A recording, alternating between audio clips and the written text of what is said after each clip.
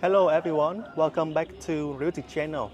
Recently, there are many foreigners asking me how to get a long-term visa in Vietnam. And today, together with Miss Hannah, the expert in the field, will help you answer this question.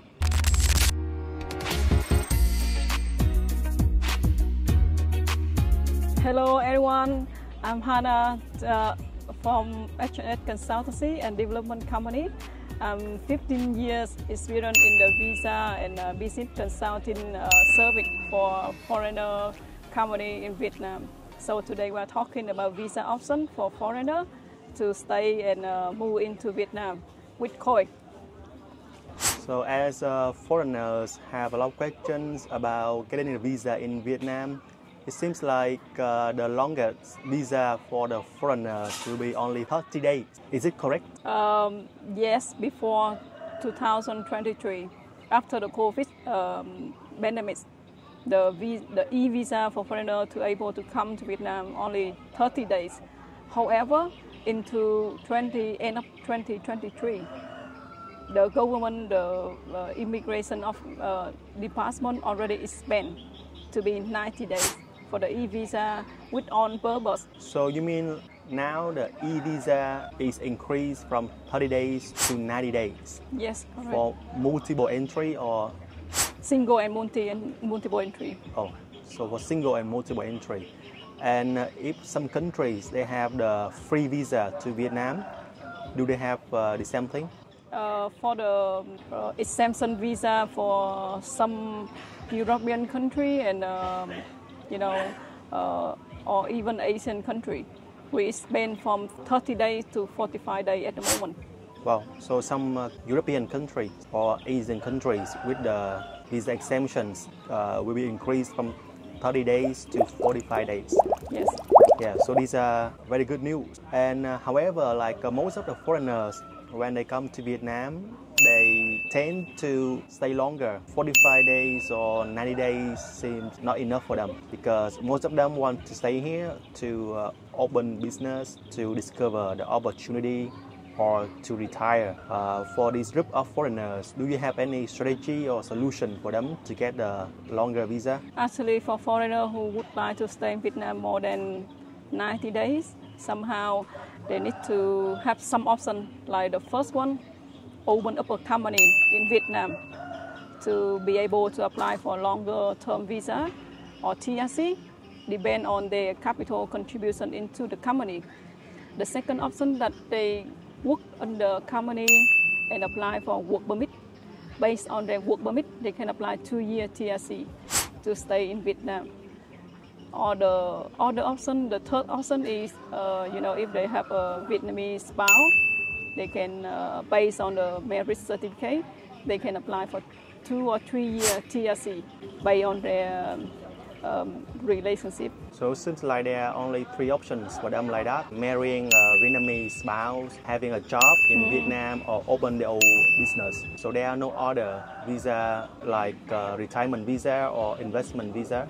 For the retirement visa, actually only a proposal from the government, but there is no official uh, approval about the retirement visa for foreigner in Vietnam yet.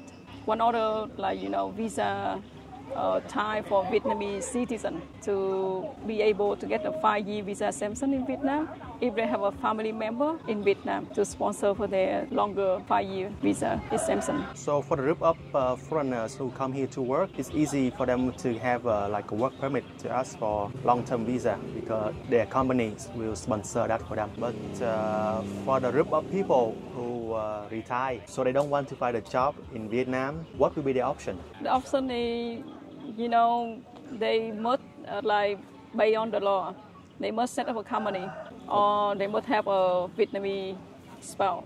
All right. I don't think they it's an option for them to find a spouse. Yeah, it's likely, but uh, it's not common. So could you please explain more about the option of opening a business in Vietnam to have a long-term visa? Yeah, to open up a company in Vietnam, somehow foreigner will require to have an office address or capital contribution into this company and somehow their background of work from overseas. So the requirements for the foreigners to open the business in Vietnam will be firstly they have to rent an office. Yes. Can this be like a co-working space or you know a virtual space? Yeah, some business activity for the co-working space or even virtual office space is okay. And uh, secondly, they have to uh, have the capital contribution. Uh, how much is it? Uh, they know minimum or maximum capital contribution is required by law. However, you know, my suggestion that they should uh, register capital about 10,000 or up to more than that amount.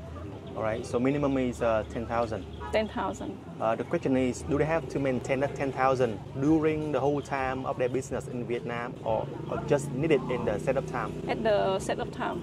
Okay. Somehow they need to open up a bank account, then contribute the capital into the company.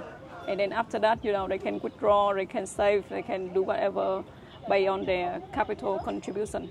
They don't need to put it on the time in the bank account. How long does it take to set up a company like that? It takes about three weeks to one month. Three weeks, okay, three to four weeks. And uh, after the company is uh, established, how long more does it take to have the long-term visa? It will take one week to 10 days. Okay, so it will take another week. So totally, it will be about Five to six weeks.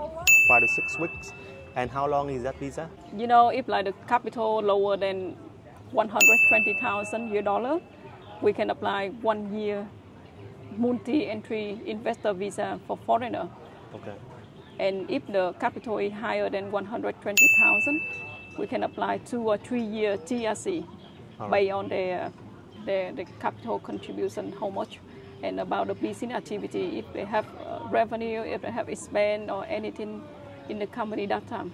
What should be the market fee to uh, establish or set up a company like that? Um, there are many price, but somehow, as I know, the market price to set up a 100% for their own company is from 1,200 to 1,500 US dollar at the moment.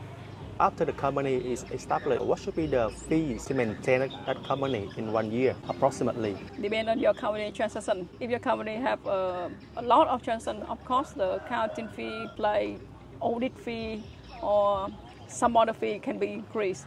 But if just basic thing, I think that like uh, the like the maintenance fee for accounting and auditing is uh, and also the photo office service somehow it will cost you about one thousand US dollar uh, a year. So it seems like the total uh, price, including the setup and the maintenance fee for the foreigner to get a long-term visa, will be around 2,000 something. Yeah, two thousand something. So in your opinion, do you know that uh, this one is uh, like acceptable price to have a long-term visa comparing to let's say Thailand or Malaysia, for example? Yeah, I think so. There are many options about getting your long-term visa in Vietnam. So if you want to know more detail, please comment below or contact us for more information. Thank you. Thank you a lot for watching the clip today. If you like this clip, please press the like button. Also press the subscribe button. Subscribe does help. Thank you again and see you next week. Hello, I'm Hannah. Um, okay. For foreigner to live and uh, move into Vietnam. So I'm with Khoi today. I'm 15 years experience in this visa and business consulting service.